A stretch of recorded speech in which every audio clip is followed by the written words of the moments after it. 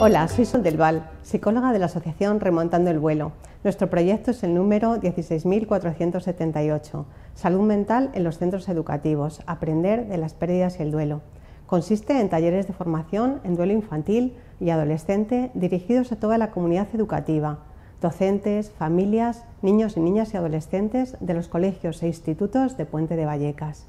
¿Cómo viven los niños y las niñas las pérdidas? ¿Qué recursos tienen para poder afrontarlas?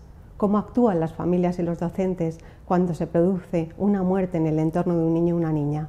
Conocer el duelo infantil y cómo acompañarles en el proceso es el objetivo de nuestro proyecto, además de dotar de recursos para que a través de las pérdidas facilitemos el crecimiento personal de niños y niñas. La educación para la muerte y otras pérdidas en la infancia y adolescencia es una protección determinante para prevenir problemas de salud mental en el futuro.